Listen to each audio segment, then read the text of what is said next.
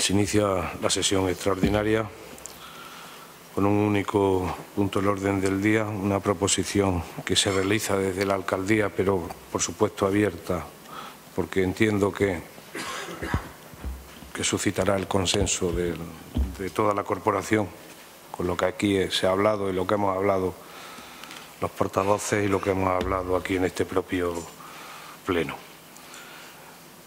Y dice así, el plan de futuro, de Linares Futuro, diseñado por la Administración Autonómica, pretendía amortiguar el impacto en la economía linarense causado por el cierre definitivo de la empresa Santana Motor. La activación del Plan Linares Futuro tenía como finalidad, según consta en el convenio firmado en febrero del 2011, la regeneración del tejido económico y productivo en el entorno de Linares que implante y mantenga a futuro empresas viables por sí mismas con capacidad de competir en su mercado, en su sector y con su producto. Supondrá un avance del modelo productivo tradicional. Debido al incumplimiento por parte de la Junta de Andalucía del mencionado plan, se imponen acciones reales que den cumplimiento al compromiso retrasado ya seis años para poder planificar de manera coordinada algo que hasta la fecha no ha ocurrido, las iniciativas que contrarresten el constante deterioro económico en nuestra ciudad, que aunque sea general, toda España, lógicamente nos preocupa nuestro entorno más inmediato, que es, por otro lado, nuestra obligación. Para esto se proponen una serie de acuerdos. El primero es instar a la Junta de Andalucía a la presentación en un plazo inmediato de la planificación futura de los recursos que ofrecen los 300.000 metros cuadrados de parque industrial. Es una superficie general. Segundo punto, retomar de forma urgente. Entendemos que el tiempo transcurrido desde entonces justifica sobradamente el carácter de urgencia. Este plan con el marco financiero de fondos de inversión para la reindustrialización anunciado por la Junta de Andalucía. Y tres, solicitar para ello de manera apremiante una reunión de la Corporación Municipal, a través de sus representantes, de, por los distintos grupos, con la Comisión Parlamentaria de Empleo, Comercio e Industria, que es la correspondiente al tema que nos ocupa. Bien, este grupo, como ya ha reiterado en muchas ocasiones, está de acuerdo con la proposición que hace, que hace la alcaldía en este sentido. Y además, como este portavoz se lo ha hecho, se lo ha remitido al alcalde de manera pública y privada, eh, estamos de acuerdo con él. Porque estamos de acuerdo al 100% con los antecedentes que señala, que señala este, este manifiesto. Es más, se queda corto. Incluso se queda corto. Yo creemos que la Junta de Andalucía nos ha engañado durante estos seis años no ha engañado, no ha dado de lado. Desde luego, esto trasciende, creemos que trasciende las siglas, que trasciende los colores políticos y creemos que todos los que estamos aquí hemos sido elegidos para trabajar por esta ciudad y para luchar donde haya que luchar por recuperar eh, los activos que deberían ser nuestros. Desde luego, si la Junta de Andalucía, gobernada por el Partido Socialista, y su entes paralelo, como la Agencia IDEA, no solo no nos han ayudado, sino que además nos han puesto palos en las ruedas en muchas ocasiones.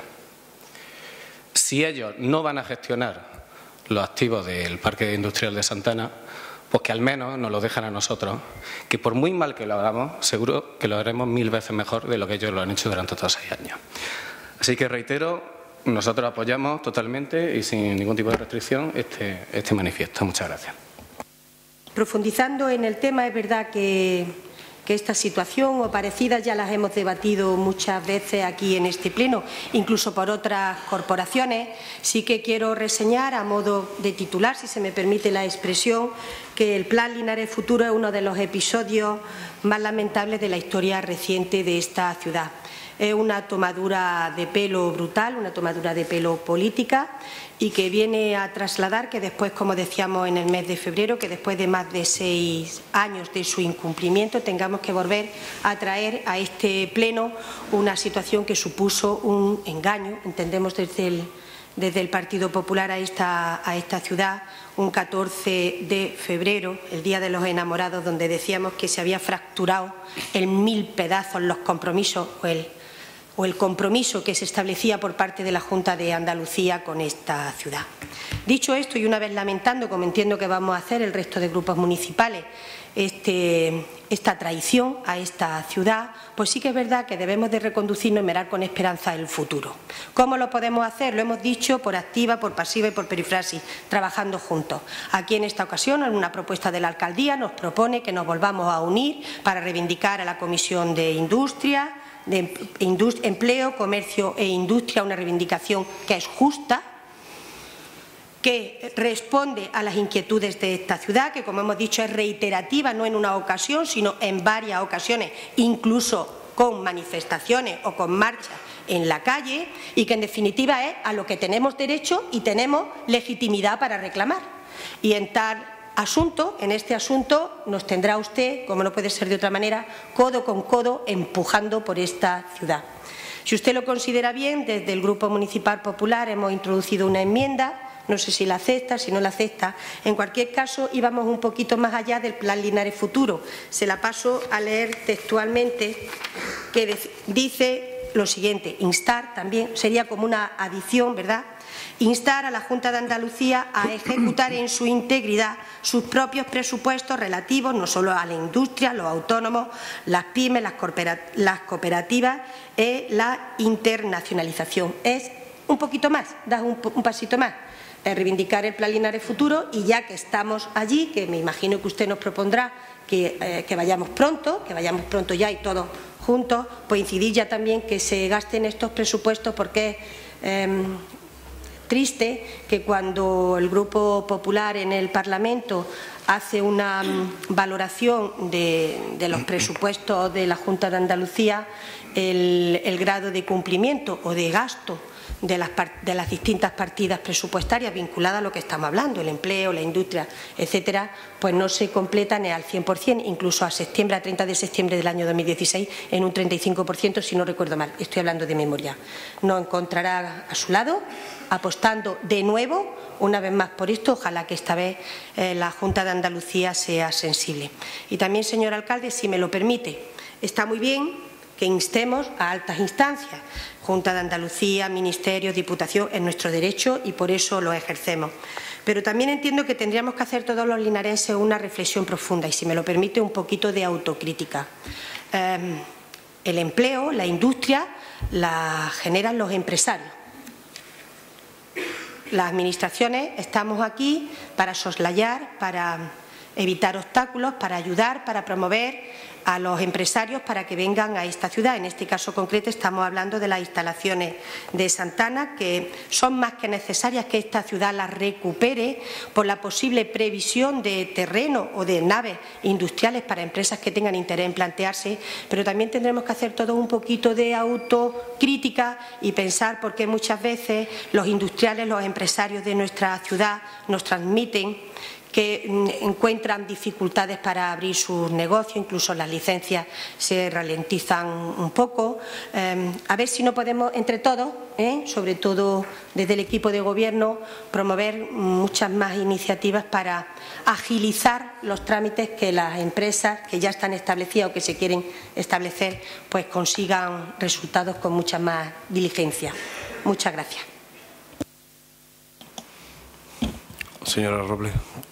Eh, el Grupo Municipal de Izquierda Unida también se manifiesta de acuerdo con esta propuesta que se nos trae, eh, porque bueno entendemos que efectivamente los incumplimientos del Plan Linares Futuro ya son sangrantes, llevamos años reivindicando eh, para esta ciudad una salida industrial y la verdad es que pues resulta ya un poco incluso ya cansancio entre, entre la ciudadanía y entre nosotros mismos, sin dejar de reivindicar la necesidad de, industria.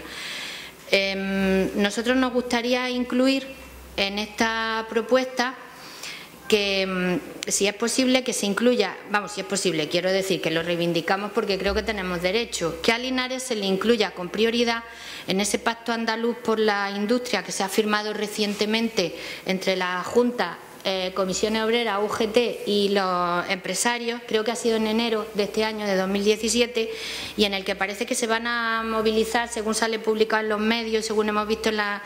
Eh, se van a movilizar 8.000 millones de euros, pues que de esos 8.000 millones de euros a ver si es posible que que se ejecute algo en Linares. Bueno, que venga algo, una parte proporcional a Linares y repito, que sea mm, que Linares tenga prioridad, porque es verdad que nosotros en Linares estamos sufriendo una doble crisis. La crisis como en todo sitio y luego aparte la crisis industrial que, sufre nuestra, nuestra ciudad y que tiene que ver también con el reparto eh, con el reparto que hace mm, el capitalismo de, de, las zonas, a nosotros en Andalucía nos toca la zona de servicios y esa es la que nos han asignado y entonces la lucha pues va a ser, va a ser larga, dura y difícil, pero no, no podemos renunciar a ella.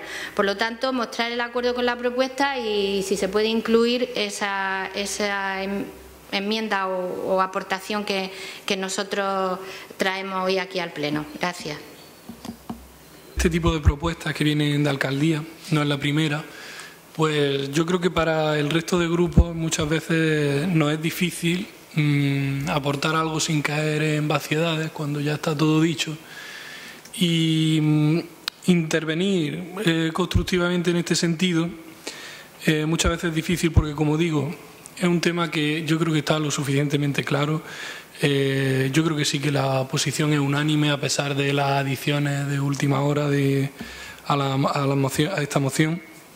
Y yo lo que, lo que quería recalcar son dos cosas. Lo, primero, si todo está decidido ya, si con esas palabras de Ana Cobo, de que, que si la Junta de Andalucía esto no nos va a dejar gestionarlo, ¿qué estamos haciendo ya? Y la segunda idea que quería trasladarles que yo cuando entré como concejal esto ya, se, ya estaba planteado tal, igual como lo veo aquí, la postura de la alcaldía era la misma. Han pasado dos años casi. y viendo que el tiempo juega en nuestra contra, porque cada día que pasa se degenera un poquito más la, la, economía y también la sociedad de, de Linares, y le llamo la atención en el sentido de la celeridad. Lo que haya que hacer dentro de nuestras posibilidades, que a la vista está que no son muchas, habrá que hacerlo ya. Porque cada día que pasa juega en nuestra contra y porque no se ve una, una progresión en los acontecimientos que invite a pensar con positividad. Gracias, señor alcalde. No ha escrito. los representantes no adscritos de derechas, porque no son grupos, eh, pero es por no alargarlo más. Bien. Quería comentar, eh, aparte de estar muy de acuerdo con lo que ha hablado el señor Bri, porque esto, la verdad es que el tiempo juega nuestra cuenta, eh, pero sí es verdad que tenemos que pelear y no podemos dejarlo. Pelear porque lo que necesitamos es que nos cedan los 300.000 metros a nosotros, porque ha llegado el momento en que no hemos dado cuenta, aunque yo realmente hace ya mucho tiempo que deje de, crear, eh, de creer en la Junta de Andalucía, eh, ya no en los partidos, en la Junta entera. Eh, puesto que hay veces que hemos estado allí y entre unos grupos y otros siempre han sido reacios cuando hablaban del tema de Santana, porque había mucha conflictividad social, en este caso sindical, y parece que la Junta lo que no quiere es que si luego cierra otra empresa tenés que cargar otra vez con el muerto. Y esa es la sensación que realmente hay en Sevilla cuando hablas con, incluso con compañeros de, de, otros grupos, que no es de los que gobiernan la Junta, pues la sensación es esa, es que Santana es un problema y no quieren que siga habiendo el mismo problema. Eh, la solución es que nos dejen a nosotros los metros y que nosotros los podamos distribuir en función de proyectos industriales que sean realmente eh, atractivos y rentables. Pero creo que le debemos dar una vuelta de tuerca a esto, porque a lo mejor que lo pidamos nosotros, a la Junta no, llega a creérselo. Eh, podemos ir de mano de la Cámara de Comercio, que están haciendo una labor muy importante en cuanto al tema de vivero de empresas, y me da la sensación que a lo mejor ir de la mano también de la Universidad, de la Cámara de Comercio, es decir, jugar un poco porque parece la sensación es que, que nos den los metros al ayuntamiento es que estamos volviendo a lo mismo que puedan tener luego otro problema en el, en, el, en el, momento en que nosotros le podamos pedir también a la Junta que nos ayude porque hemos tenido que o ha tenido que cerrar alguna empresa. Es decir, es la sensación que hay en el ambiente sobre el tema de lo que ocurrió con Santana, que a lo mejor no quieren que se vuelva a reproducir. Eh, yo creo que es importante que luchemos en esto todos juntos, sin que haya ninguna fisura, y también es importante que nos acordemos de pedirle a todo el mundo, sin mirar nuestras siglas, porque esta corporación ha sido siempre valiente y cuando hemos hablado de estos temas hemos estado todos de acuerdo. Y si hay que pedir al Ministerio eh, correspondiente que nos ayude, habrá que pedírselo, igual que han ayudado a Jaén en su momento cuando se le adelanta la PIE para lo que haya necesitado, también tenemos que echar mano de quien sea, de Diputación, está aquí su vicepresidenta, no que su presidenta, que ya la habían ascendido, pero sí pedirle al ministerio correspondiente que nos ayude cuando realmente reviertan esos terrenos al ayuntamiento o a manos de la Cámara o a manos de quien sea, que podamos esto generar otro ambiente y de verdad que demos ilusión a esta ciudad, porque realmente la, ilusión es generar empleo y si no se genera empleo, la desilusión en los ciudadanos es la que, la que se genera y, y ya estamos viendo que se nos están yendo y la población baja y la verdad que esto es ya urgente. Entonces, lo que dijo nuestra compañera de corporación en un momento, Ana Cobo, sobre que nos costaría mucho dinero al ayuntamiento que nos revirtieran esos terrenos, yo no estoy de acuerdo con ella. Eh, si hace falta que tengamos que ponerle presupuesto para el mantenimiento de esos terrenos cuando nos, nos lo cedan, pues lo ponemos y ya buscaremos donde sea el dinero para poder mantenerlo, pero es lo importante luchar para que esos terrenos se cedan. Pasa que en el acuerdo número uno, en el punto número uno se dice instar para la reanudación en un plazo inmediato de la planificación futura de los recursos. Me gustaría que se añadiera, que no es necesario, no lo hago como una enmienda ni una adición, pero que sí, que si la intención es que se cedan esos terrenos al ayuntamiento que creo que será la intención que es la, que se propone. Muchas gracias. Buenos días, muchas gracias, señor alcalde. Bueno, por supuesto estamos de acuerdo. En este caso, claro, hablo como concejal no escrito, estoy de acuerdo con, la propuesta y con la y con la unidad que demostramos con nuestros matices, porque yo sí querría matizar algunas algunas cuestiones. En primer lugar, me, eh, creo que serían asumibles las propuestas que se hacen de adición, de adición a, este, a, esta, a esta propuesta, sobre todo la que hace Izquierda Unida, de, sumarse a ese, a ese nuevo plan industrial. Pero también hay que decir algunas cosas porque con independencia de, de, que efectivamente se consiga o no se consiga eh, recuperar, conseguir los activos, porque nunca yo recuerdo nunca han sido de la ciudad, sino que en su momento fueron una empresa privada y luego fueron asumidos por la Junta de Andalucía, pero bueno, que fueran asumidos por la ciudad. Y con respecto a lo que decía, al hilo de lo que decía el señor Bri, decir que de independencia de esto, decir que antes hablaba el señor alcalde en el pleno anterior, hablábamos de aquellas cosas que, que bueno, que los ciudadanos no entienden y que desapegan a la gente de la política, pero es que eh, ¿qué más puede desapegar a la gente de la política que un incumplimiento manifiesto de algo que firma una administración ante una ciudad hace ya seis años, en la que promete que eh, eh, va a reindustrializar esta zona, que a cambio del cierre de Santana promete la reindustrialización de, Linares y de la comarca y que después de seis años no hay nada. ¿Qué más puede eh, desilusionar a la gente y fundamentalmente a la ciudadanía de Linares?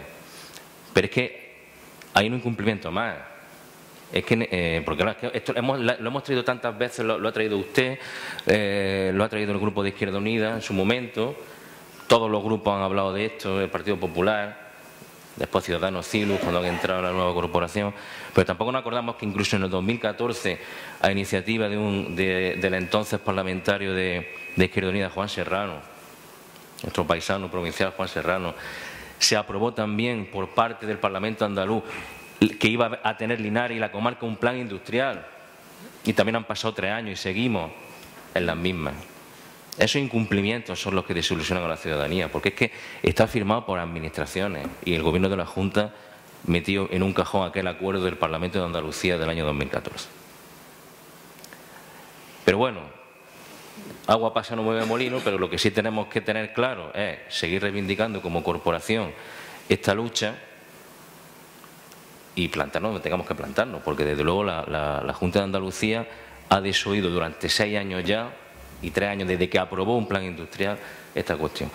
Yo no tengo inconveniente en que se incluyan los, las propuestas que hace el Partido Popular que hace en Izquierda Unida, que yo creo que son interesantes, fundamentalmente, como digo, el que representa Izquierda Unida, porque ya que hay un plan industrial vamos a sumarnos y, por supuesto, cuando reivindicábamos un plan industrial, en aquel momento lo hacíamos para la Junta de Andalucía, pero también, y ahí me sumo lo que dice el señor Delgado, al Gobierno central. Y también podría aportar fondos, incluso la Unión Europea, porque la Unión Europea ha aportado fondos para la industrialización de determinadas zonas, y que hay zonas de Andalucía, no solo Linares, pero fundamentalmente Linares, que es la que a nosotros nos compete y nos ocupa, que desde luego se merecen otro tratamiento de las administraciones, tanto la central como la autonómica. Muchas gracias. Aceptar todo incluso, porque al final no ha leído lo que querían añadir el Partido Popular,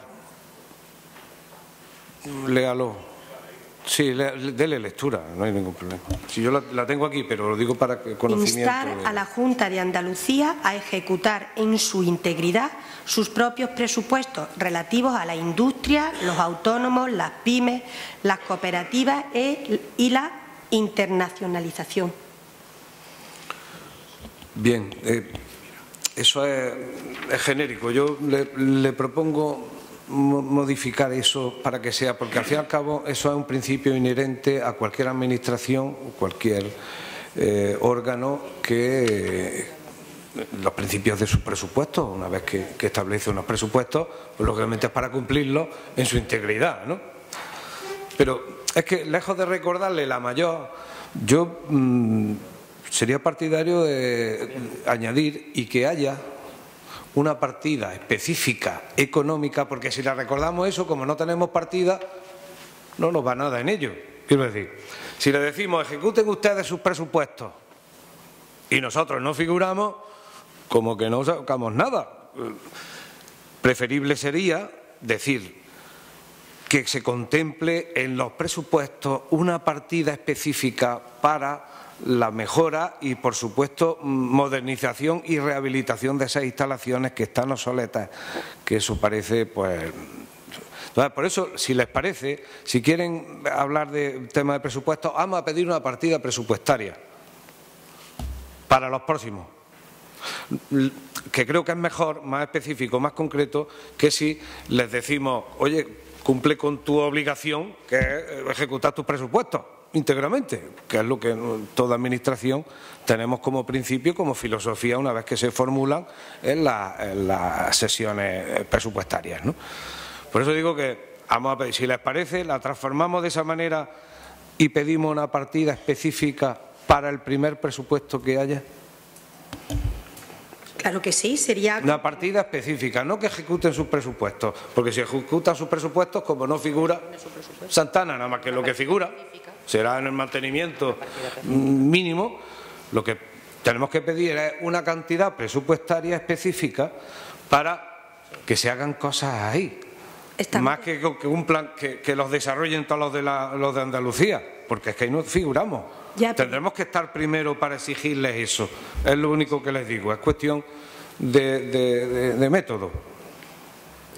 Ya, ¿Me explico? Claro que sí, señor alcalde. Sí, ¿Les parece que la incluyamos de esa manera? Señor Roldán, ¿usted que la firma?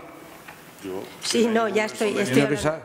no, no, no hay ningún inconveniente. Poner, eh, después de autónomos, pymes, cooperativas e internacionalización, eh, poner una partida específica en este caso. Lo que pasa es que eso, señor alcalde, eso habría que instar a los grupos políticos a través de una proposición no de ley que se incluya esa partida en los próximos presupuestos. pero, sí, pero sí es muy simple, verá usted. y exigimos una partida económica concreta anualmente en los primeros presupuestos y así sucesivamente para Santana. Y nos quitamos toda esa retaíla, si les parece y que se cumpla.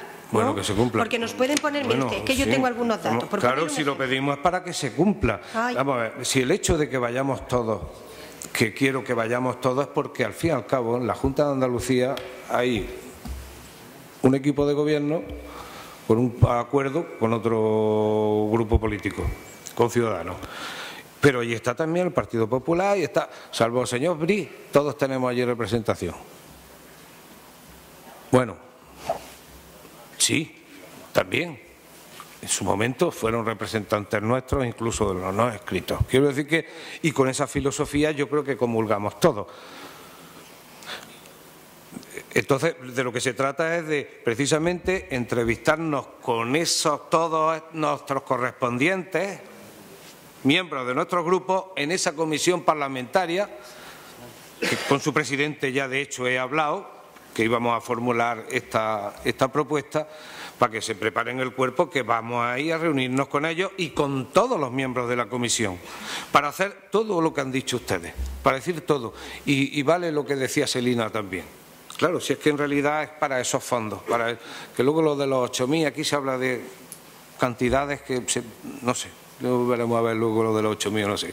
Nosotros lo que nos interesa es que haya un plan, no, no porque, por supuesto, nos interesa urgentemente, pero es que además es que es un compromiso escrito, conveniado y un incumplimiento manifiesto, como aquí hemos dicho siempre.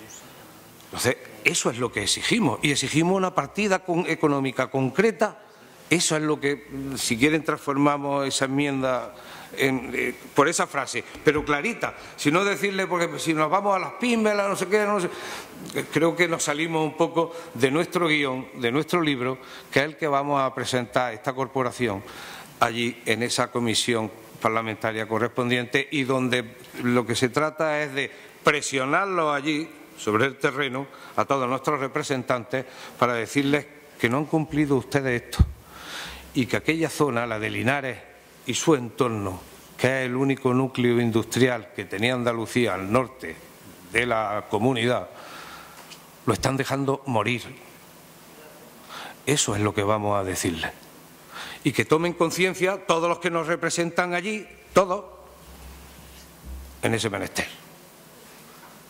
Básicamente eso, y por supuesto arrancar una partida económica concreta para invertir en Santana todos los años, porque conforme pasa el tiempo el deterioro de las instalaciones que hay allí pues, es mayor. Y porque además mm, inminentemente vamos a tener un tramo de ferrocarril que llega a Santana, que abre otras posibilidades, que pueda abaratar costos para las empresas que allí hay y estimular la presencia de otras que tengan una logística mmm, amplia y por sus características técnicas o de fabricación les pueda venir bien o de desplazamiento y transporte de material les pueda venir bien. Entonces necesitamos que, se, haya allí una inversión permanente en todos los presupuestos. Eso es lo que en realidad vamos a pedir. Si quieren ustedes, se los formulamos ya de esa manera, en lugar de instar a que cumplan con sus presupuestos de toda la consejería, una materia, en Jerez, en Almería y por supuesto aquí en Linares, pero es que en Linares ahora mismo no tienen ellos nada de presupuesto. Si les pedimos que cumplan con lo presupuestado, nosotros no, no ganamos nada en ello porque no tenemos nada en esas partidas económicas. Por eso hay que pedir primero la partida y eso vendría bien una vez que lo tengamos, esa partida, decir, y que la cumplan en su integridad. Pues lo digo porque, porque el uno va antes del dos, no por otra razón, cuestión de, de, de método. ¿Vale? Sí, sí, sí. Cuestión de forma, ahora, de nuestra enmienda, que no solo es presupuestar la partida, que, que, ya en eso estamos todos de acuerdo, sino que se cumplan, porque los datos que tenemos nosotros y que estamos barajando en cuanto al grado de cumplimiento, no solo de Santana, sino para toda la ciudad de Linares, pues por ejemplo, desde el 2013 al 2015, 1.820 millones sin ejecutar en políticas activas de empleo. Desde el 2013 al 2015, 410 millones de euros sin ejecutar en políticas de fomento empresarial. Desde el 2013 al 2015, ninguna ayuda para autónomos. Y desde el 2013 a 2015, solo se ha gastado el 3,5% de lo presupuestado en internacionalización. Lo que queremos hacer es que se ponga la partida, la que sea, ¿eh? y, y la coletita, si me permite la expresión, y que se ejecute. Esa era la filosofía de la enmienda. No sé si me he explicado. Muchas gracias. Como ustedes quieran, no, da igual. Luego lo redactamos, se incluye de una manera para que esté claro en la redacción y ya está. Ese agua no mueve molino y lo que sí vamos a hacer un paréntesis antes de pasar a la... O vamos a votar porque tenemos guardado un minuto de silencio dentro de un minuto por los atentados de Londres. Venga, a las 12. Así es que, ¿votos a favor de la propuesta? No hay votos en contra ni abstenciones. Muchísimas gracias. Si pueden incidir en sus representantes en la Cámara Andaluza para que presionen en la comisión, yo les facilitaré los nombres de cada representante de los distintos partidos, eh, que pregunten en la propia comisión, oye, ¿cuándo les vamos a dar cita a los de Linares? ¿Vale? Que yo haré lo correspondiente con el presidente y con todos los que hay allí. Guardamos el minuto de silencio si les parece.